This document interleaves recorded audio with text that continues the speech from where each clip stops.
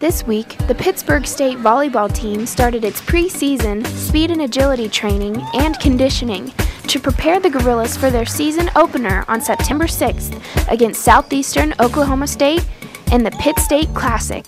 With a great deal of excitement in the air, senior Christa McCaw has some high expectations for the start of the 2013 season. I am so excited for what's to come this season and all that we put in this summer and this spring. I'm just really pumped to get the freshmen finally in here and see what they can do. Not only is the team ready to be working hard on the court together, but during the team's photo shoot on Wednesday, the girls demonstrated just how close of a squad they are. As a senior leader, Kirsten Erikson recognizes there is some pressure on her to compete to the best of her ability. Personally, she wants to make this season extra special to make sure she goes out with a bang as a gorilla.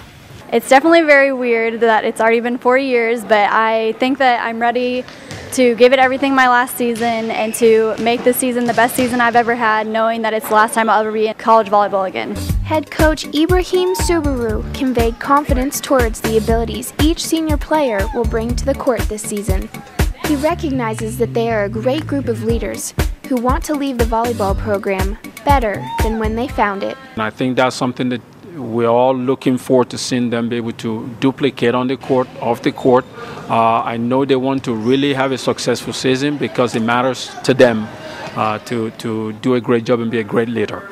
Uh, so we're excited for them, uh, but we also know that they can do it. Visit PittStateGorillas.com frequently for updates and news regarding Pitt State volleyball.